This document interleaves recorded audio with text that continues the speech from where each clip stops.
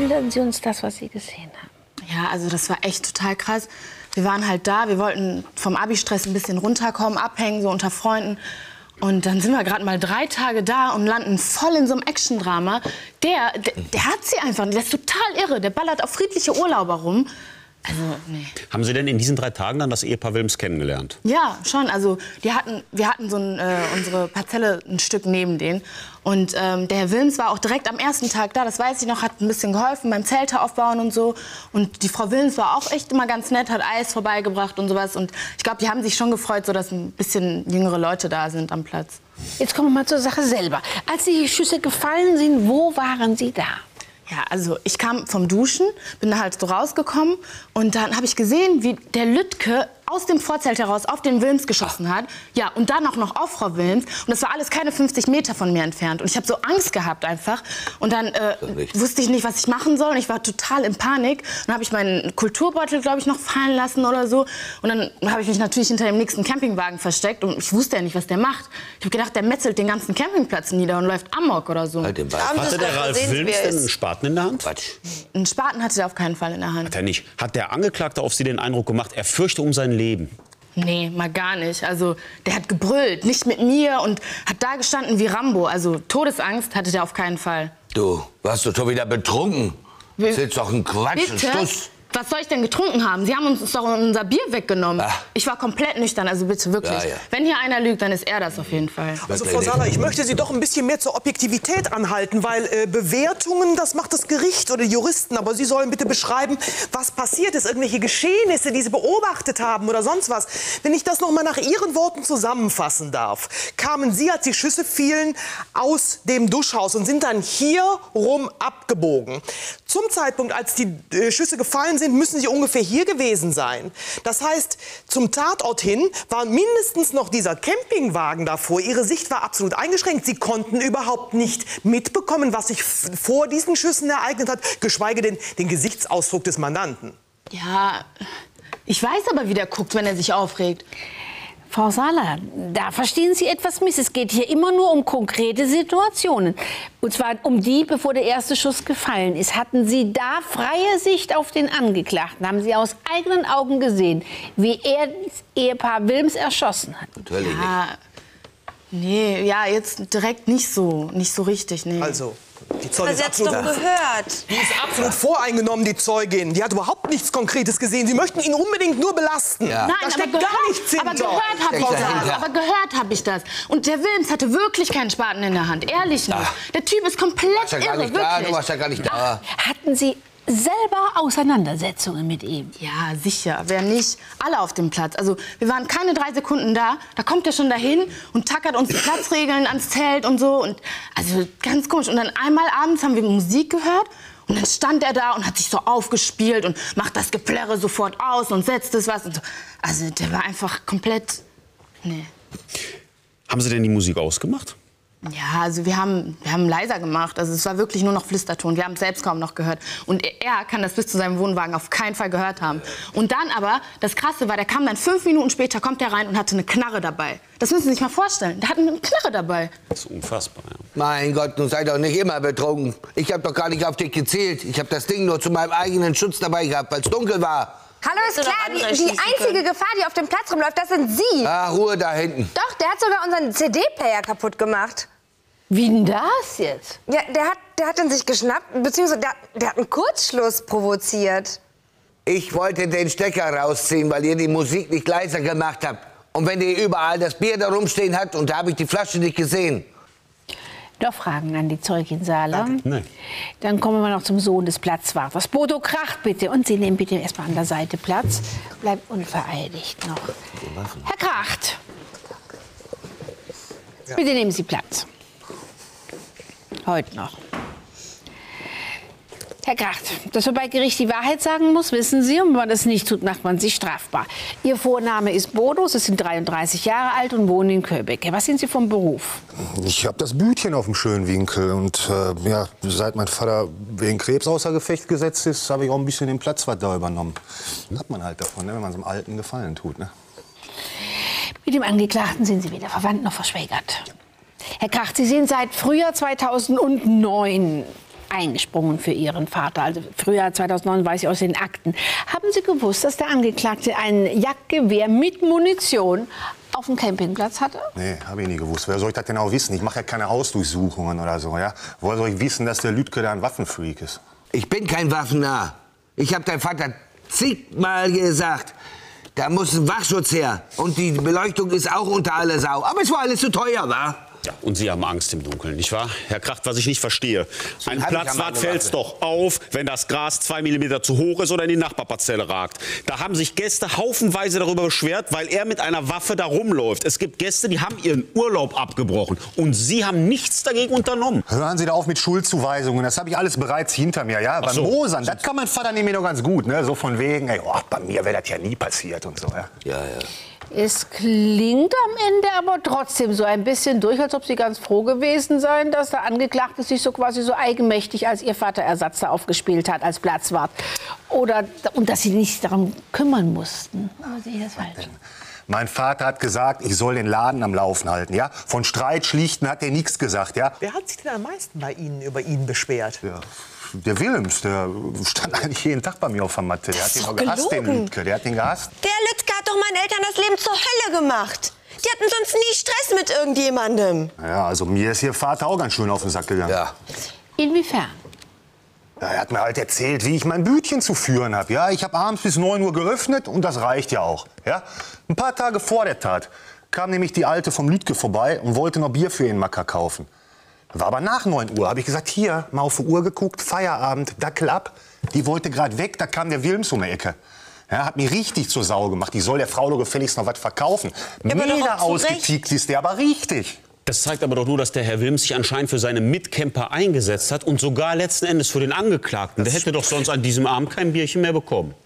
Das spricht für mich viel mehr für die Streitsucht von Herrn Wilms, muss ich ganz ehrlich sagen. Ich meine, er scheut ja so gar nicht davon zurück, andere Campinggäste auf ihn aufzuhetzen, und zwar mit einem riesen Aufwand. Herr Kracht, wie viele Unterschriften waren das noch, die er hat sammeln lassen? Kurz 200 ungefähr oder so, ja. Wie habt ihr Sie auf diese Unterschriften gekriegt? Ach, ich, ich lasse mir auf so einen Kindergarten scheißen Ja, hast überhaupt, überhaupt gar nicht ein. Außerdem ist der Lütke der längste Camper bei uns und ah, genießt irgendwie sowas wie Gewohnheitsrecht. Wie hat denn der Ralf Wilms darauf reagiert, als Sie seine Forderung zurückgewiesen haben? Ja, total sauer war der. Ich, ich bringe diesen Tyrannen anderweitig noch zur Strecke. Hat er. Na, und dann ist er mit dem Spaten auf mich losgegangen. Muss Lütke jetzt ins Gefängnis, weil er meinen Ball kaputt gemacht hat? Nein, nicht deswegen, sondern weil er sehr böse war zu Herrn und Frau Wilms. Schatz, es tut mir so leid. Ich wollte das nicht. Frau Lütke ist bestimmt traurig, wenn ihr Mann ins Gefängnis muss. Dann hat sie sich doch extra noch beim Ralf entschuldigt. Was erzählst du denn da, Nils? Herr Kracht, in der Campingplatzanmeldung der Wilms war ja nur die Warsteiner Adresse notiert. Wussten Sie, dass Ralf Wilms drei Tage vor seinem Tod eine Wohnung in Paderborn angemietet hatte? Nein, aber wenn Sie mich fragen, hatte der Wilms Krebs oder irgendwie anderweitig eine schlimme Krankheit? Weil der hat sich auch viel mehr aufgeregt über den Lütke als normalerweise. Und bei so einer Krankheit, da verändert mich man sich ja so ein bisschen so auch von der Psyche her und so, denke ich. Krebs, wie kommt Sie jetzt da drauf? Ja, er hat halt total abgenommen und sah auch so im Ganzen überhaupt schlecht aus. Ja? Und bei meinem Vater fing das genauso an. Und, und äh, seine Frau, diese Svenja, ja, ist nur noch mit verheultem Gesicht rumgelaufen und so. Die ganze Zeit. Also wenn ich mit meinen Eltern telefoniert habe, da waren die total glücklich und gesund. Da ist nichts mit Krankheit gewesen. Aber jetzt, äh, im Gutachten steht auch davon nichts drin, sie haben ihn ja gefunden. Aber was hat Ihre Vermutung jetzt mit dieser Adresse zu tun? Ja, ist halt direkt in der Nähe von so einer Krebsklinik. Ich weiß das, weil mein Vater da drin liegt. Ja? Und ich denke mal, er wird wahrscheinlich für seine Therapie vielleicht eine Wohnung in Kliniknähe gebraucht haben. Ach so, aber er war völlig gesund und die Svenja auch. Das hatten die Obduktionen eindeutig ergeben. Entschuldigen Sie bitte die Störung, aber mein Sohn hat mir gerade etwas erzählt, das könnte sehr wichtig für Sie sein, über Frau Lüttke. Ja, Mama hat gesagt, dass ich ein richtiger Detektiv bin. Oh, auf Detektive bin ich immer gespannt. Noch Fragen an den Zeugen Krach derzeit. Danke, nein. Dann, Herr Krach, das Wesentliche haben wir gehört. Nehmen Sie an der Seite Platz, bleibt unvereidigt. Ähm, Nils, du weißt ja, wie das funktioniert. Ähm, hier, mein Beisitzer macht Platz. So, und dann kommst du noch mal nach oben. Ein bisschen näher zu mir, sonst ist mir das auch hier oben zu weit.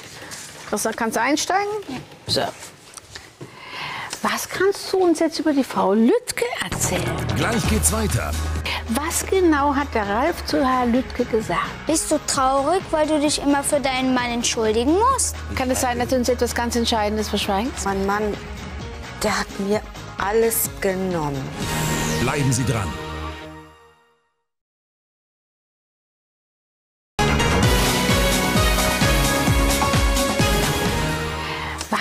Du uns jetzt über die Frau Lüttke erzählen? Die Frau Lüttke ist viel lieber als ihr Mann. Sie hat mir einen neuen Ball geschenkt. Und, sie, und sie hat sich entschuldigt, dass ihr Mann so böse war. Das war ja in der Tat sehr nett. Nur, was meint deine Mutter jetzt damit, dass du ein Detektiv bist, hat sie ja gesagt. Hast du jemand beobachtet, die Frau Lüttke zum Beispiel?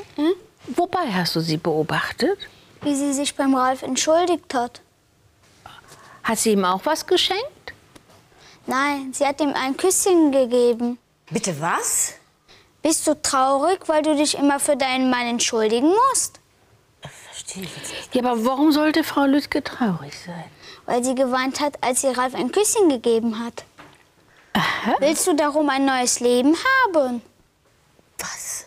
Neues Leben? Jetzt verstehe ich noch nicht, wie kommst du da drauf? Verstehe auch nicht. Das hat Ralf zu Herr Lüttke gesagt, als sie sich wegen den Grill gestritten haben. Das habe ich vergessen zu sagen. Ist das schlimm? Schlimm ist nie irgendwas, überhaupt nicht. Was genau hat der Ralf zu Herr Lüttke gesagt? Dass die Michaela ein neues Leben anfangen will, ohne den Herr Lüttke. Nils, damit hast du Michaela? mir sehr geholfen. Moment, Moment. Ich möchte das nicht in Gegenwart des Kindes. Sehr geholfen. Vielen Dank. Jetzt gehst du mit deiner Mutter nach Hause. Ne? Ich glaube, jetzt wissen wir wirklich mal Bescheid. Ja? Dann gehst du da raus. Nils, ich denke, Sie können mit Ihrem Sohn jetzt nach Hause gehen. Frau Lützke, kann es sein, dass Sie uns etwas ganz Entscheidendes verschweigen? Jetzt sage mal. Frau Lüttke, was soll das Ganze hier?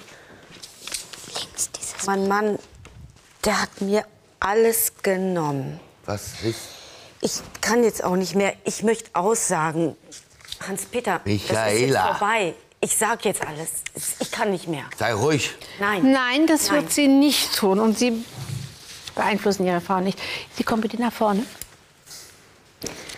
Kann immer dann schweigen, wenn man sich selber bei wahrheitsgemäßer Aussage einer Straftat bezichtigen müsste, noch mal 55. Frau Lüttke, nach dem, was uns das Kind erzählt hat, hatten doch Sie und Herr Wilms ein Verhältnis, oder?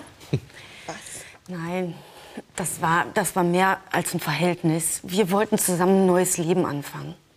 Das ist doch gelogen. Doch. Nein, erzähl, dann, erzähl nicht so einen Mist. Dein Vater und ich, das ging von, von uns beiden aus. Wir beide hatten, der Ralf und ich, wir hatten Eheprobleme und wir haben uns auf dem Campingplatz immer unterhalten und sind uns so näher gekommen. Erst durch Gespräche und dann, dann wurde da einfach mehr raus. Unverschämtheit. Haben die beiden ihre Tochter eingeladen, um das mit ihr äh, zu besprechen? Oder, oder zu besprechen oder ihr mitzuteilen, dass sie sich trennen wollten? Ja, die wollten sich schon länger trennen, hatten aber schließlich Angst, dass eine Scheidung die Laura aus der Bahn wirft. Aber Laura ist ja jetzt schon 26 und da haben beide sich beschlossen, auch mal was für sich jetzt zu tun, wieder an sich zu denken. Mit anderen Worten, wollte Ralf Wilms versuchen, Ihnen diesen Adresszettel zu geben, oder? Ist das doch die Anschrift, in der Sie dann beide zusammenleben wollten? Da wirst du belogen und betrogen. Ja, natürlich. Der Ralf wollte mir an dem Tag, als die Laura da war und Laura erklären wollte, dass sie sich trennen wollten, wollte er mir im unbeobachteten Moment diesen Zettel zustecken. Und Ralf hatte schon alles geplant und hatte auch gesagt, Mensch, pack das Nötigste zusammen, ich, ich, ich hol dich da einfach raus. Und dann auf einmal war dieser Streit da und, und dann war Ralf tot und Hans-Peter, der wollte doch auch gar nicht da sein an dem Tag. Der wollte angeln gehen, aber das war dem viel zu warm da an dem Tag. Also mit anderen Worten ging es bei diesem Streit nicht nur um den Grill, dann passt die eine Äußerung auch besser. Hat Ralf Wilms Ihnen, Ihrem Mann gesagt, was Sie beide vorhatten? Es ist, ist Ralf einfach so rausgerutscht an dem Tag. Der hat geschrien, er stand vor ihm und, und dann hat gesagt, der kann nicht verstehen, wie ich so lange mit so einem cholerischen Arschloch zusammen sein kann und leben kann. Er hat gesagt, heute ist mein Glückstag, er will mich von ihm befreien. Das, das hat er gesagt. Und notfalls mit Gewalt. Dann ging es dem Ralf Wilms ja gar nicht um irgendwelche Nachbarschaftsstreitigkeiten, als er bewaffnet äh, auf ihn zuraste. Es ging um Sie. Ralf hat überhaupt gar keinen Spaten in der Hand gehabt. Das ist doch gelogen. Das heißt, Herr der Mann Lüttke. hat nicht aus Notwehr gehandelt. Er hat Ralf Wilms mit voller Absicht deswegen erschossen, weil er wusste, dass die sonst mit ihm weggehen würden. Natürlich hat er geschossen. Ich habe erst gedacht, als er erfahren hat, der wird mich grün und blau schlagen. Ich habe einfach Angst vor meinem Mann gehabt. Und ich bin dann in den. Wohnwagen zurückgerannt und habe die Tür zugemacht. Und dann habe ich den Schuss gehört. Und ja, dann weiß ich auch nicht. Ich hab Ja, aber da renne ich doch nicht rein, sondern ich renne raus und helf doch. Ja, aber äh, erzählen Sie dass Sie meinen Vater geliebt haben und lassen den einfach da draußen erschießen? Ich habe ihn wirklich zutiefst geliebt. ist aber alles Schwachsinn. ich hatte halt nicht die Courage wie deine Mutter. Deine Mutter, die muss da irgendwo zwischengegangen sein. Und ich, ich habe ja nur die Schreie von innen gehört. Ja, und genau da hätte man helfen können. Genau da. Was hätte ich machen sollen? Ich hatte keinen Mut mehr. Ich hatte furchtbare Angst vor diesem Mann. Der hat gesagt, wenn ich hier irgendwas sage, dann bringt er mich um. Wie ist der Spaten in die Hand von Vater der Michaela. Nebenklägerin gekommen? Verdammt nochmal! Ich überhaupt begriffen habe, was da passiert, da hat mein Mann über den Zaun vom Nachbarn gegriffen und hat den Spaten genommen. Hat dem einfach Ralf die Hände gelegt. Herr Lötke, jetzt haben Sie die Gelegenheit, nachdem ich diese Aussage komplett hatte, dazu Stellung zu nehmen. Ich höre. Nein, Dann nicht. Noch Fragen an die Zeugin Lütke? Nein, Bleibt danke. unvereidigt. Frau Lütke, nehmen Sie bitte hinten Platz. Werden Anträge gestellt? Schließlich die Beweisaufnahme, Herr Staatsanwalt Reumer. Hohes Gericht, selbstverständlich ist der Angeklagte hier wegen zweifachen Mordes schuldig zu sprechen. Eine Notwehrsituation ist absolut abwegig. Wir haben zum einen gehört, was den Herrn Ralf Wilms angeht, dass er den Spaten nicht in der Hand hatte. Das sagt uns nicht eine Zeugin, das sagt uns auch noch eine zweite Zeugin. Wir haben zudem das Gutachten der Gerichtsmedizin, der sagt, hätte er den Spaten tatsächlich im Moment des Schusses in der Hand gehabt und im Moment des Todes, hätte er ihn losgelassen. Sie haben ihm den Spaten in die Hand gedrückt. Punkt eins. Und wieso bezüglich der Frau jetzt auch noch eine Notwehrsituation bestanden haben soll, ist mir vollkommen schleierhaft. Das ist definitiv nicht so gewesen. Und die Frau haben sie auch gezielt erschossen. Da sich irgendwie rausreden wollen mit einer fahrlässigen Tötung, wie sie es am Anfang gemacht haben, ist vollkommener Unsinn. Das war kein Querschläger, das war ein ganz sauberer Schuss. Mordmerkmal, Frau Vorsitzende, ist gegeben. Wir haben ja jetzt das Motiv gehört. Seine Frau sollte natürlich nicht weggehen. Seine Frau ist sein Besitz, die wird verteidigt. Deshalb musste der Mann sterben, der sie ihm wegnehmen wollte. Eifersucht, nennen Sie es wie Sie wollen, Besitzsucht, auf jeden Fall der niedrige Beweggrund.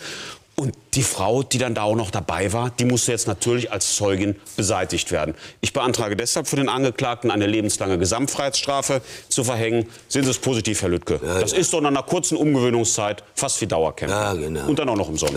Herr Staatsanwalt Römer, Frau Rechtsanwältin Tase. Danke, Frau Vorsitzende. Gericht, wir können den niedrigen Beweggrund hier nicht benennen, wie wir es wollen. Sie müssen den feststellen und das können Sie ja nicht. Es fehlt ganz klar an einem Mordmerkmal. Meines Erachtens feststellbar ist hier, mangels eines Mordmerkmals, der Totschlag zum Nachteil von Herrn Wilms und die fahrlässige Tötung zum Nachteil von Svenja Wilms. Denn eins steht meines Erachtens schon fest. Wir haben hier durch die Zeugin Sala das schon hier klar gesehen.